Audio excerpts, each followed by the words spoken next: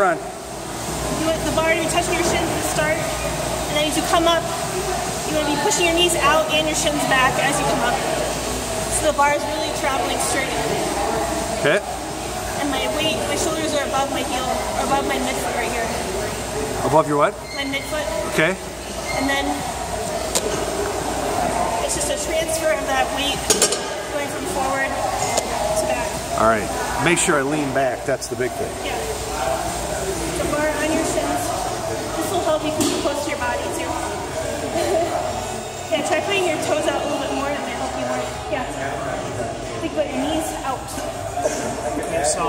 I'm just going to do that. Yeah, yeah. Like that, right? Kinda? Kind of. We still got I still got to get the, the, Yes. the right here. For you, the, the, the hang, the hang drills, like a hang power clean drills. and- That's what I'm going to do, yeah. Yeah. To me. So we're out like this. Where you're pulling. You're pulling oh. up. So even start a little bit lower. Yeah. Just above the knees. Just so you have that feeling of traveling. up.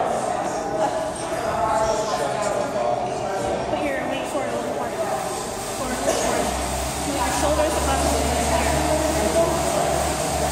Keep your butt out a little bit forward. Yeah, yes, just like that. Feels weird, right? Yeah. Do all your weight forward. Shoulders forward more. Forward more. Yeah, there you go.